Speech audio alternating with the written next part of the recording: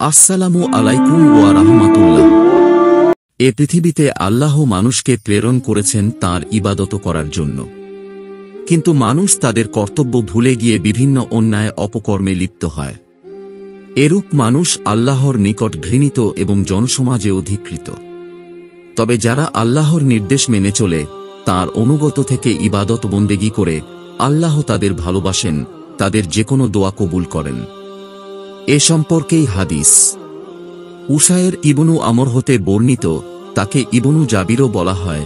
তিনি বলেন, ইয়েমেনের বসবাসকারীদের পক্ষ থেকে ওমর রাদিয়াল্লাহু তাল্লা আনহুর নিকট সাহায্যকারী রল আসলে তিনি তাদেরকে প্রশ্ন করতেন, তোমাদের মাঝে ওয়াইস ইবনু আমির আছে কি? অবশেষে একদিন ওয়াইস এসে গেলেন।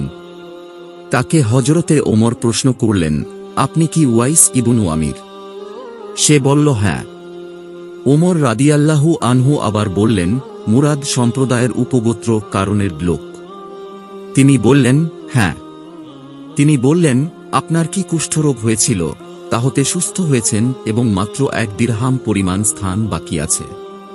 তিনি বলেন হ্যাঁ। তিনি বললেন, আপনার মা জীবিত আছে কি? তিনি বললেন হ্যাঁ। হজরতে ওমর বললেন, রাসূলুল্লাহ সাল্লাল্লাহু আলাইহি ওয়াসাল্লামকে আমি বলতে শুনেছি, ইয়ামানের সহযোগী দলের সাথে ওয়াইস ইবনু আমির নামক এক লোক তোমাদের নিকট আসবে। সে মুরাদ জাতির উপজাতি কারণের লোক। তার কুষ্ঠরোগ হবে এবং তা হতে সে মুক্তি পাবে, শুধুমাত্র এক দিরহাম পরিমাণ স্থান ছাড়া। তার মা বেঁচে আছে, সে তার মায়ের খুবই অনুগত। সে আল্লাহর উপর ভরসা করে কোনো কিছুর শপথ করলে তা আল্লাহ তাআলা পূরণ করে দেন।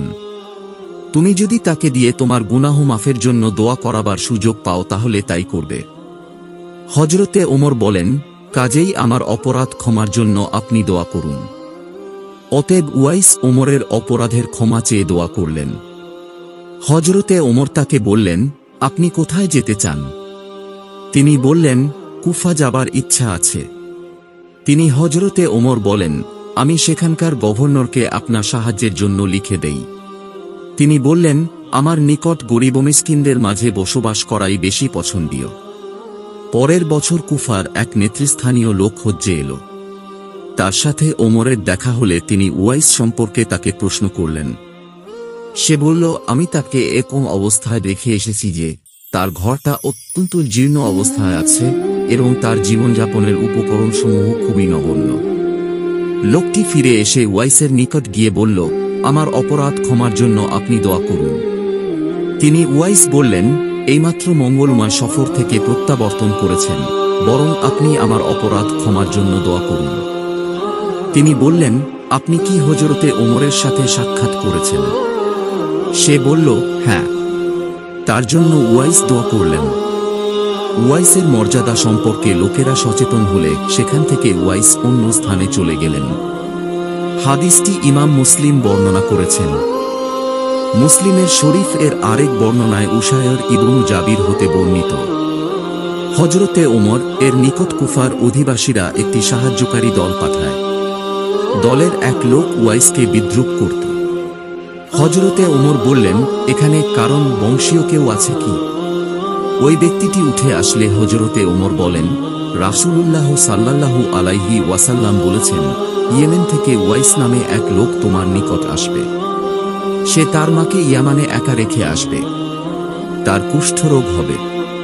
সে আল্লাহর নিকট দোয়া করবে, আল্লাহ তার রোগমুক্তি দান করবেন, শুধুমাত্র এক দিনার অথবা এক দিরহাম পরিমাণ স্থান ছাড়া।